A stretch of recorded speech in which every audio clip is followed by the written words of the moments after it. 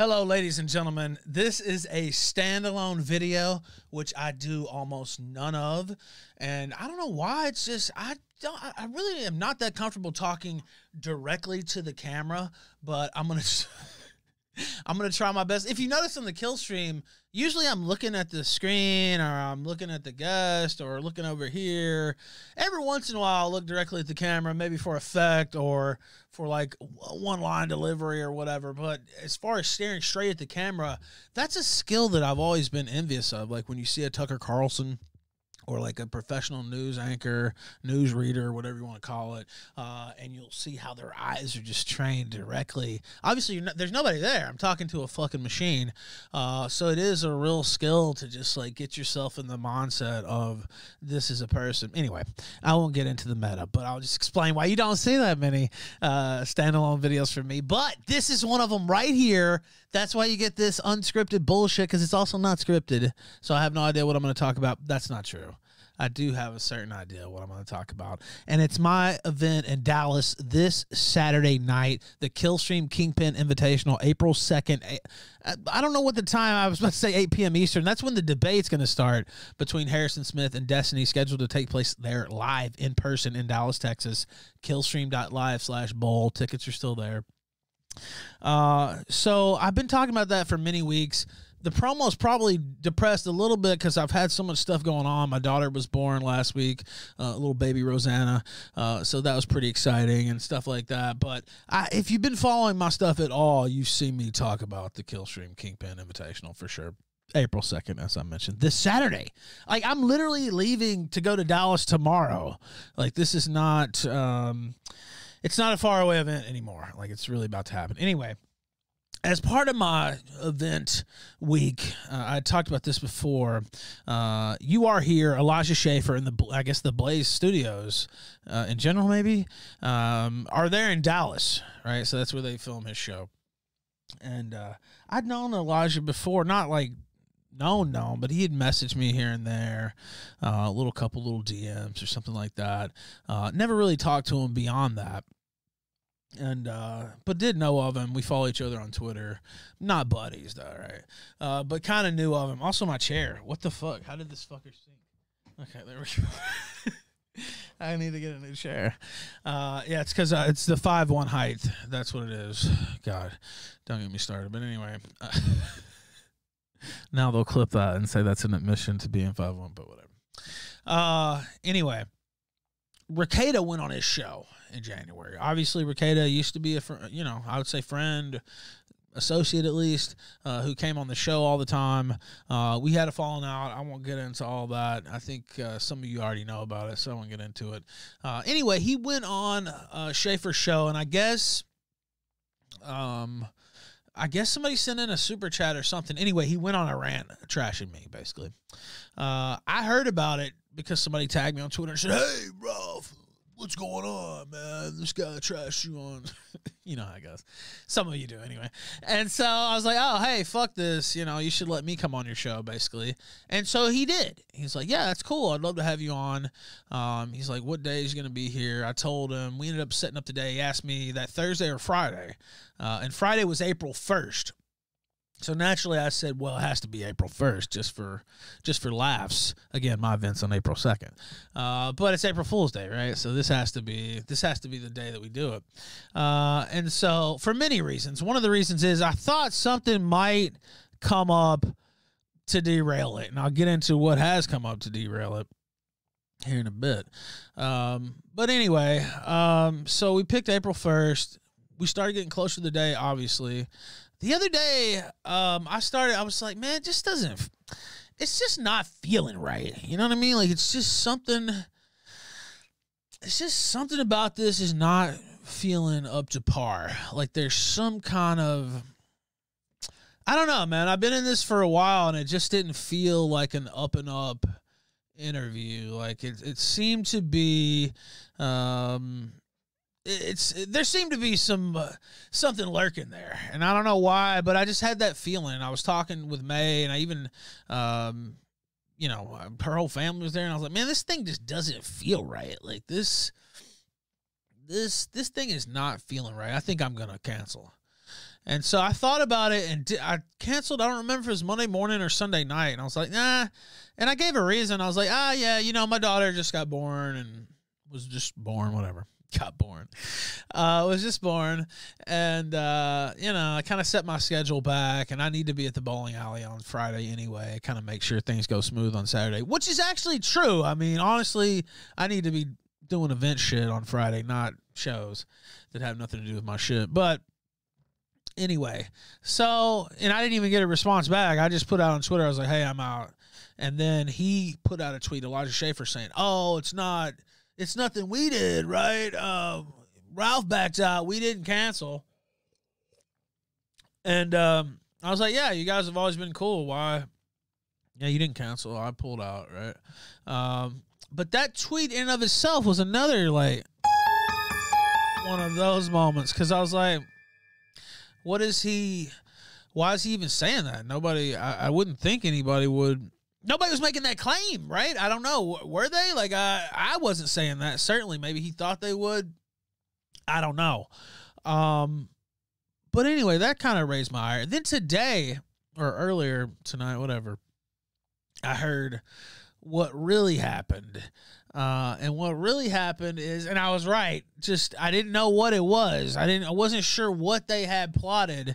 But Quartering's big dumbass. He's a moron. I mean, I think we all know that. Um, but I mean, he's good at you know hoovering up the shekels. I mean, I will give him credit there. He's very good at that. But as far as like, you know, a guy you want involved on your plot or something like that, you know, he's the first dumbass that's going to get you sent to prison. Like, this is a, not a very, uh, not a very wise motherfucker. You know, he doesn't have very many street smarts. So anyway, I'll, sh- I'll show you this clip, and uh, I don't know. I should have. I should have. I should have known this is what they had planned. I just knew something was up. Uh, and by the way, shout out to Elijah Schaffer trying to pull a fast one. I, am going to talk about him. I'm trying to decide if I should put it in this video or maybe uh, just tell you to watch the kill stream later tonight with Lord Miles Routledge. But I don't know. Maybe I'll maybe I should just keep it separate from the kill stream because it is it is pretty explosive what I was told about uh, about Elijah. I mean, I think I told some of it on Twitter already. I'm not sure, uh, but let me play this clip real quick.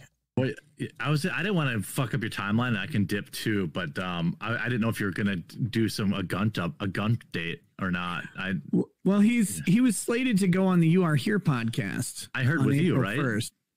What? Wasn't he supposed to go on with you?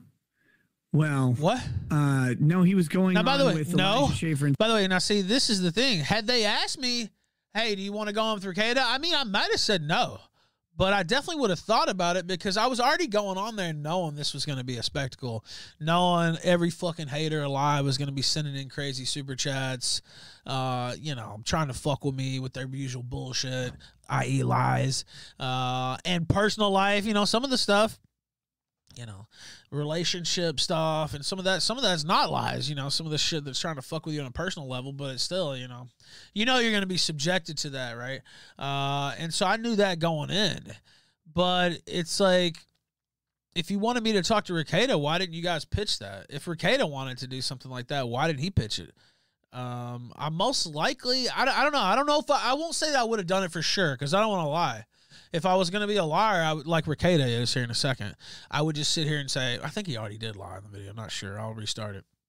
If I was going to be a liar like him, I would just say, oh, yeah, I for sure would have done it. I don't know if I for sure would have done it, but I was trying to create interest for my event the next night anyway. Um, hoping maybe, you know, get some extra people local too, you know, pop into the to the bowling alley there. But you know, there's a, there's a chance I would have done it just for that reason. I mean, that's kind of was the idea of going on this show, but uh, that's not uh, what it was all about. I don't know what it was. I don't know why I got the feeling that something was up. Uh, but I guess it's just that Ralph Amel sixth sense. I, that's what uh, that's what Pantsu said. I'm not sure what it was, but uh, I did call it. I just didn't know what it was going to be. But anyway, I'll play the video now, and I won't talk. Well, I was I didn't want to fuck up your timeline. I can dip too, but um, I, I didn't know if you were gonna do some a gunt up a gunt date or not. I well, he's he was slated to go on the You Are Here podcast. I heard with April you, right? First, what? Wasn't he supposed to go on with you? Well, uh, no, he was going on with Elijah Schaffer and Sydney Watson. Whoa. I feel like I thought he What? was, you were gonna do you were gonna do a show Corey? with them. No. Why Uh, I th- I- okay. Loser. By the way, Corey's got a lot of nerve to talk about guns and this shit. I saw this big nigga walking around the other day. He looked like Grimace. Like this motherfucker had a like. anyway, I'll leave that there.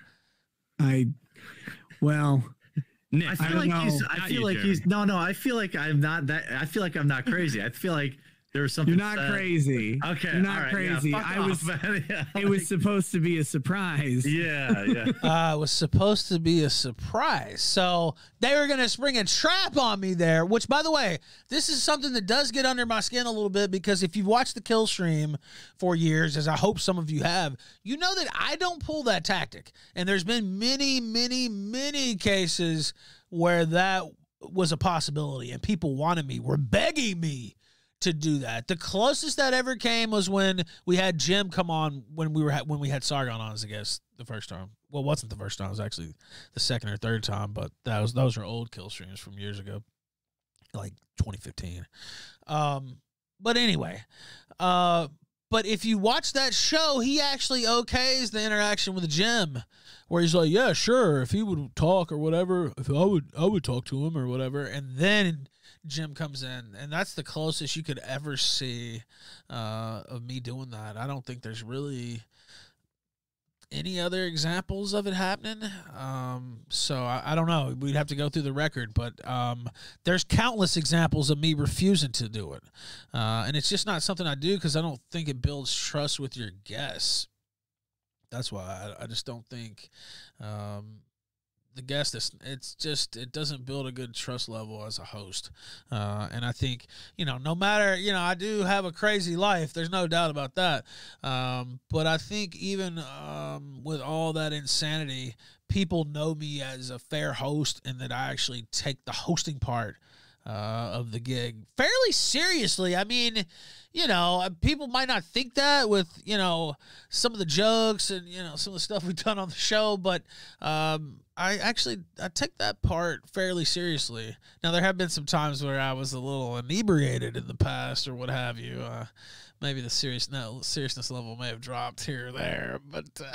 Uh, It was, man, yeah, It was supposed to be a surprise. Yeah. Oh, yeah. surprise. Nothing Now, happened. notice how easily Rekieta lied throughout the beginning, just with ease. I just wanted that to be, and of course, he's a lawyer, so not a huge shock, I guess. But Oh, I accidentally. Okay, shit. Okay. But he, uh, he, oh, quartering blew the plot. There he is.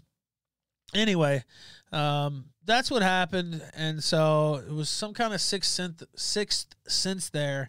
I don't know something. Something triggered in my brain. It was like something's up here, uh, and it ended up being that. But what's funny is a couple weeks before I was out uh, with Corinne and some other people.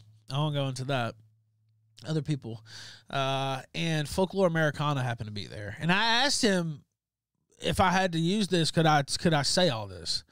Because I felt like at first I was going to go on there and it was like, well, it might be a setup, but I'm going to have, you know, this in my back pocket. Now I didn't know that until I had this dinner because he started talking about Elijah Schaffer, and he started saying that uh, Elijah Schaffer used to like make out with men in his presence, uh, grope men. That by the way, I thought when he told me Elijah Schaffer had a wife, he told first thing he said something about I know for a fact Elijah Schaffer's wife is a beard. And I said, Well, how do you how do you know that? First off, that's not what I said. The first thing I said was I thought he was openly gay or you know some kind of like I had always just assumed he was gay for the longest. And then I had to look it up and I was like okay, I don't see where it says he's gay for sure. Um but apparently he wasn't uh openly gay. Um I just assumed that. Uh and he actually has a wife that he married back in 2020. Uh, and Folklore Americana, who worked with him, was sitting here telling me that he's seen this guy make out with men, that he's seen him, uh, you know, grab dude's ass and this and that. And I'm like, okay, well, I mean, that part didn't surprise me. I guess now that I think about it, the part that surprised me the most was not that revelation. It was the revelation that he had a wife because I was like, what the fuck? I thought this guy was like, you know, from the LGBTQ California conservative uh, wing of the GOP. Uh, but uh, apparently he doesn't claim it openly. So he told me that. He also told me uh, that basically he was the one who kind of helped make this guy get famous uh, through his work, uh, pretty much, and that Elijah got hired by the Blaze and owed him a bunch of money, and so I guess he had one of his cameras or whatever, and he's like, "Well, I'll just you know I'll just keep this camera." You know, as payment, and dude was like, "Oh man, that's a really expensive camera. Let's meet up and talk about it. Come on, you know, let's work something out. Just bring the camera. Let's work something out." So they had a meeting, uh, and then when he got there, he started yelling about dude stealing his camera, and oh my god, you can't you can't take it, and da da da. And so he ended up just letting him have the camera and just like dropping the whole thing. Like not taking his money either and just getting fucked over. So I'm thinking that is one reason probably this story came out to me. Uh, and I was hearing all this and I was like, well, first off, do, do I have your permission to tell this? Like if he goes, like if something goes awry. So if I'd showed up on Friday and they had brought Rekieta out the woodwork or something like that, this is what would have been dropped like right after. Now I wasn't gonna do it for super chats or you know people throwing because you expect that. I already expected that going in, right? By the way, I'm used to doing the kill stream, so I'm see that's what I was talking about at the beginning. I'm looking here, so I wasn't gonna. I had in my mind. I was like, so I had this information and there's another part of it too. I'll tell you. Uh, I had this information. I was like, well, this is in reserve if there's some kind of you know foul play. I don't consider super chats talking shit, even if they got lies in them. Uh, you can't control a super chat, right? Like, I mean, I'd be the last one to cry about that. Now, you can't control who gets exposed to them or whatever, but I've exposed people to plenty of super chats, so it's like I, I would be the last. Now I could cho- choose whether to go on the show or not, but um, as far as you know, whining about that, that's not gonna be.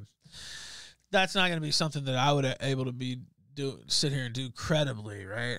Um, but I still, I don't know. I just felt like they had something. Now I ended up being right, like we saw, but it was just like I want to have this in case something goes sideways and so it ended up going sideways, obviously. Um, but it, you know, I'd already I'd already caught it, but I still want to put this information out. So there was another part of it where apparently he said he pulled him over and he wanted to have like a very serious conversation. I keep forgetting too, by the way. He wanted to, you know, like talk to him. I guess he was trying to keep him quiet about some of the ass grabbing and men kissing that he had, man kissing that he had seen him do. Uh, and he was like, well, I had, you know, I guess he said he'd been gang raped by a bunch of dudes, repeatedly gang raped, by the way, over the course of like some of his teen years, I guess. Uh, and uh, the guy's response was, "Well, how is it gang rape if you kept going back to like repeatedly get gang raped, quote unquote?" Sounded more like he was just participating in like gay sex uh, sessions, pretty much from the way it was described. That's I think that was uh, I think that was his interlocutor's point as well. Uh, how is this? How are you? How are you getting raped if you were partaking? Now, again, I don't know. Maybe he was. Maybe he did uh, something like that happen. I couldn't say. I haven't heard the original story, uh, but it sounded more like he just used to be gay quote unquote used to be. Uh, and now he's trying to turn over a new grift leaf uh, there on the Blaze. And again, I didn't want to go in on all this because I, you know, he's been cool to some people that I like or whatever. Had them on their show on his show, but. If you're gonna get dirty with me, uh, I'm just gonna lay it all out on the table. I don't give a fuck. So, and he's still planning to, you know, have Rekieta on there Friday anyway. So it's like, fuck you, you're a piece of shit. Uh, that's that's kind of how I feel about it. Uh, and so that's that's never going to change. If you're trying to play me, um, I'm just going to have to let the chips fall where they may. on that. Um, now, as far as anything else, I mean, I don't know. Those are I, don't know if those are big or not. Gay group sex and um, you know just blatant homosexuality. I thought he was already gay, so it might not be. I think a lot of people think he's gay too. So I don't even know if this is like huge information. I'm pretty sure his wife probably knows too. So this might not be like the epic. I don't know. It depends uh, on your point of view. I saw- heard somebody on Twitter say he started laughing when he heard it. I guess he was watching a show one day and Elijah said something about his wife and the dude like a oh one of these like what the fuck. Uh, but yeah, that's that's how he found out. So anyway, I guess take it or leave it. Now there was oh yeah, the Blaze. I did want to note out the Blaze was one of the uh, major publications there that thanked uh, was it not thanked but congratulated Dave Rubin uh, and whatever his boyfriend's name is, husband, uh, on their little surrogate double double there, uh, which was appalling. I honestly, I was still, I'm still in shock with that one because I still think about when I pulled it up. I just expected to see one baby, and there were actually two. And my mom was just like, first off, what the fuck? Second off, that was like half a million dollars worth of baby right there. Like, what the? F- you would be stunned at what these motherfuckers pay. Anyway, it's crazy because me and Pansy looked it up, and I thought it was like 50 grand, 100 grand. No, it's like 200, 300 grand. Like, it's big money. Anyway. Um, I guess take it or leave it, but that's what happened with the um, that's what happened with the you are here stuff. Uh, and I look forward to to their show on Friday. I'm, I'm sure it'll be great. I'll be in Dallas, Texas. Killstream.live slash bowl. Check that out. I'll have a lot of friends there. I won't name them now because I'm just keeping this separate uh, from everything else. I want to make a standalone video. Uh, and I probably will talk about it on stream too, but this is my standalone video. So I hope you enjoyed it. And one day I will remember to look at that camera when I make standalone videos.